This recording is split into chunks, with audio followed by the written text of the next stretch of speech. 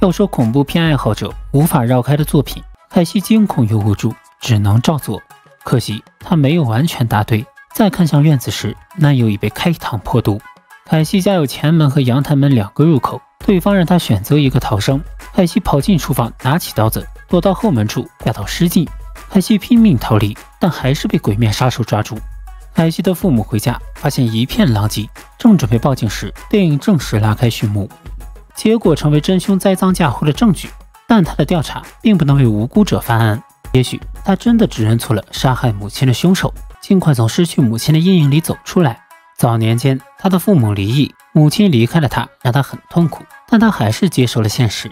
此话一出，小西又气又难过，因为离婚和遇害根本不是一回事，两人不欢而散。